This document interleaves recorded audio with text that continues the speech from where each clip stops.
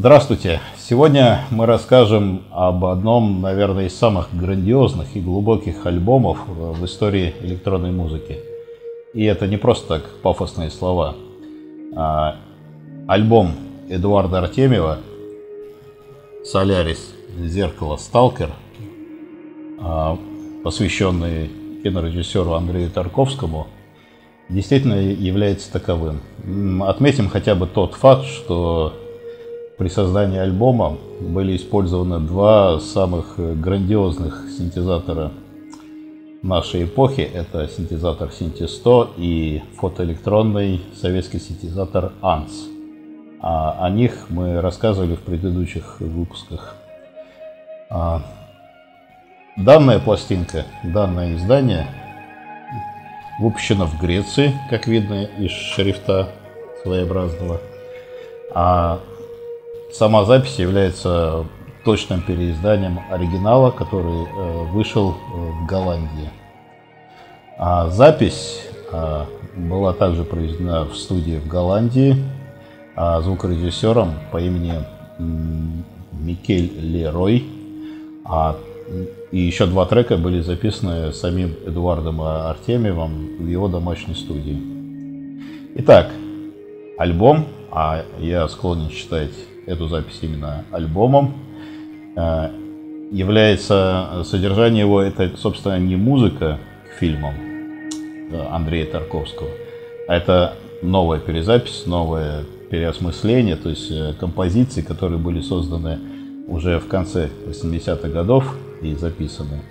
И это как бы музыка скорее по мотивам фильмов Андрея Тарковского. Эдуард Артемьев и Андрей Тарковский работали вместе над тремя картинами.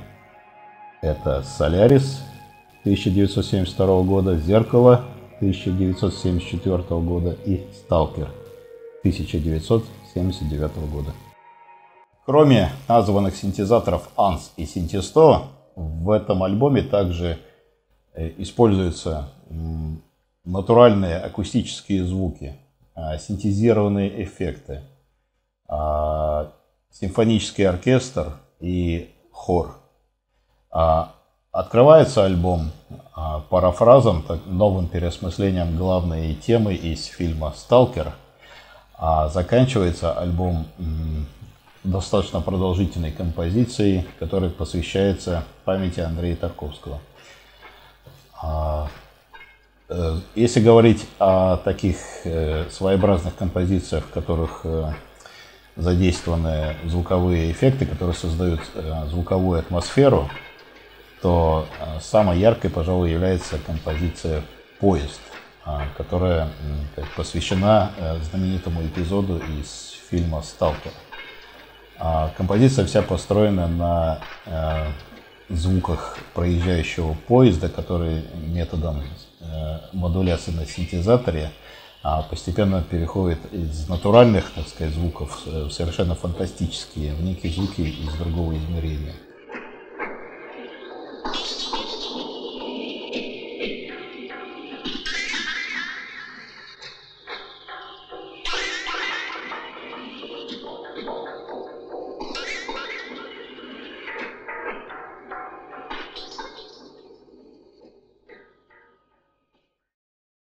Вообще, надо сказать, что когда Андрей Тарковский пригласил Эдуарда Артемьева работать над фильмом «Солярис», он э, поставил, так сказать, условием, что, собственно, музыки в его фильмах быть не должно.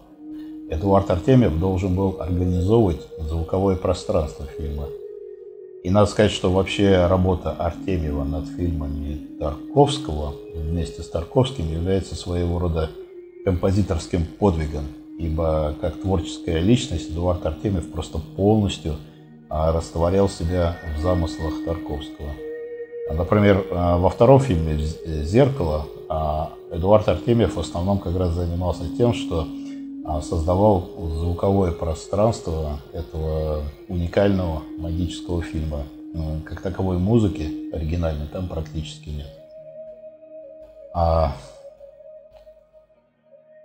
как я уже сказал, э, большинство, ну практически все композиции являются перезаписанными заново. Здесь, кстати, также используются цифровые синтезаторы, так как в конце 80-х годов Эдуард Артемьев в своей обычной московской квартире, в комнате, которая, насколько я помню, была площадью около 10 квадратных метров. У него уже была своя продвинутая студия, и он был владельцем таких синтезаторов, как Yamaha DX7, э, звуковой модуль Korg M1 Rex и даже сэмплер, э, очень дорогой и редкий по тем временам, эмулятор 2 второй серии. А также э, в композициях используются акустические инструменты. И здесь самым ярким примером является та же композиция из фильма «Сталкер», которая здесь названа «Медитация». И, насколько я понимаю, это как раз композиция, которая вошла в данную пластинку, в данный альбом практически в таком же виде, как она звучит в фильме. Если же рассказать, остановиться на этой композиции подробнее, то а, стоит отметить э, собственно говоря, какая стояла перед композитором а, задача. Э, Андрей Тарковский хотел соединить в ней западную и восточную культуры. И причем он настаивал на том, что, а, как он вспоминал слова, Виниловое издание данного альбома представлено на двух пластинках. Вот а, греческое издание. Конверт альбома отличается от а, голландского оригинала. А, на развороте представлены кадры из картины «Солярис», «Зеркало» и «Сталкер», а также э, статья, но тут все написано на греческом языке. А, завершается альбом продолжительной композицией, которую Артемьев написал в декабре 1986 года, а, сразу после того, как узнал о смерти Андрея Тарковского. Э, Эдуард Артемьев э, заперся в своей домашней студии и в течение двух недель э, создавал эту а, композицию при помощи электронных музыкальных средств. А композиция тональная, такая по звучанию несколько, я бы сказал, народная и языческая даже. А, в ней также использованная тема, которую Артемьев в свое время написал для Э, фильма «Солярис», для первого фильма, над которым оба художника работали вместе. А в 1999 году сын Эдуарда Артемьева, Артемий Артемьев, основ... на своем лейбле, который называется «Электрошок Records», выпустил данный альбом в формате CD. Так он стал гораздо более известен и получил э, просто глобально по всему миру восторженные, очень положительные отклики от э, самых известных музыкальных изданий. Итак, а, подводя итог, а, я могу только повторить, что в истории электронной музыки данное произведение, данный альбом, а это именно альбом, а не сборник э, музыки из определенных фильмов, является одним из самых глубоких и грандиозных и по замыслу, и по воплощению. Потому что если говорить о замысле, то э, фильм «Солярис» создавался в 1972 году.